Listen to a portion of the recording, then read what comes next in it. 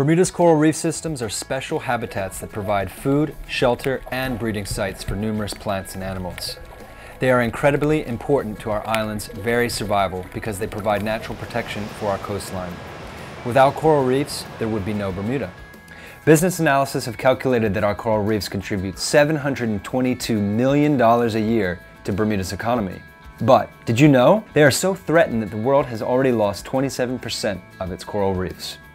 We're glad you want to be a BZS Reef Watch citizen scientist and spend a day out on and under the water surveying our spectacular coral reefs. It's a super fun day and all the data collected goes directly to coral reef research and conservation. No special training is needed, but there are some things you should know. There are two training nights for Reef Watch. This video complements that training. Come to one of two training nights to select your site from the map. It is most important that you select a site you know well, is easily accessible, and appropriate for the level of experience of each person on the boat. On Reef Watch Day, use the coordinates map to locate your chosen area with GPS. Your GPS will display the latitude and longitude in one of three ways. Digital degrees, digital minutes, and digital seconds. It is important to use the correct GPS numbers to find your reef location based on the manner in which your own GPS displays your boat's position in the ocean.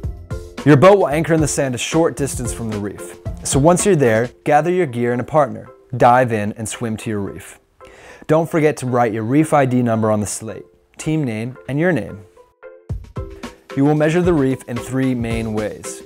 Count the number of fish, record what's on the reef, and take note of corals and invertebrates. You will want to do the fish census first. The slate is designed to be used underwater. Nine fish feeding guilds have been selected to be a part of the Reef Watch Fish Census. Count all the fish you see over the entire reef that belong in each feeding guild over a 30 minute period. Make special note of lionfish. Estimate the water visibility. Is it clear or cloudy? How far can you see looking straight ahead or straight down? We want to know what the area around your reef is like. Is the seafloor made of rock, sand, or broken up coral? What else is on the reef? Use the weighted hula hoop to record what has colonized your reef. The hoop should hit gently on the bottom without moving. Toss the hula hoop through the air onto the shallow top of the reef. Let it sink gently onto the reef. How much of the area within the hula hoop is covered by coral? What type of coral is there? Star coral? Brain coral? Finger coral? Soft coral? Seaweed? There's something labeled rugosity on the slate. Estimate the distance in centimeters from the deepest to the shallowest point on the reef within the hula hoop, and that's the rugosity. Look for the coral disease. If seen, put an X in the box. Does the coral have a black or yellow band? If so, that's black band or yellow band disease. Are there signs of coral bleaching? This is when a coral colony has completely lost pigment and is white. You and your partner will randomly toss your hula hoop 10 times, recording on the slate exactly what you see each time. There's one more thing to do. Take note of all the mobile animals on the reef. Lobster, sea urchin, sea cucumber, nudibranch, often called sea slugs.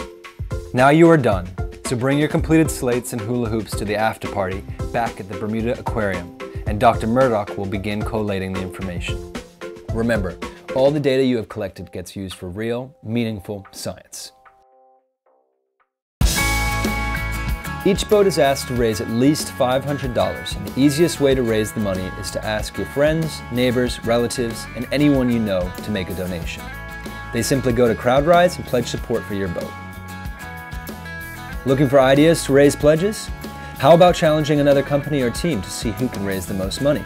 Or put a coin jar up in the office. Remember, all money raised goes to coral reef conservation. And don't forget all your safety gear. Thanks again for being a Reef Watch citizen scientist.